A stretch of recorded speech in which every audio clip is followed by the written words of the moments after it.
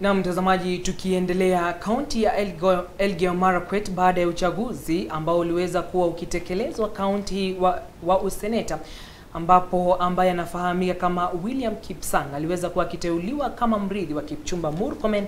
Leo hii kabla ya kikao spesheli cha seneta cha bunge la seneta aliweza kuwakilishwa kiapo cha utendakazi. Katika, katika hotuba yake William Kipsang aliweza kuahidi kuchapa kazi.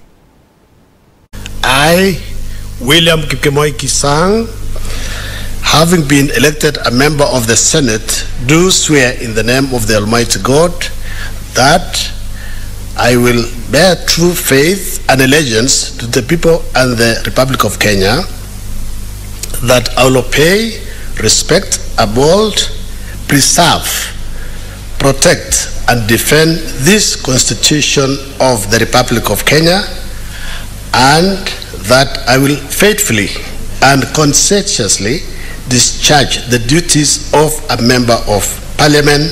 So help me God. I wish to take this opportunity to thank God for the opportunity that, that He has given me to serve the great people of Elgeyo Marakwet County. I also wish to thank the people of Elgeyo County for giving me the same opportunity, my campaigners, my competitors, and all who participated in the, the by-elections of the 5th of January 2023. Uh, Honorable Speaker, there are many things and pledges that I made to the people of Elgeyo Marakwet County. Even this house, the members who have spoken, say the Professor Kithure Kindiki, CS was here, Murkomen was here, and I want to promise that I'll measure to the standards of those members you mentioned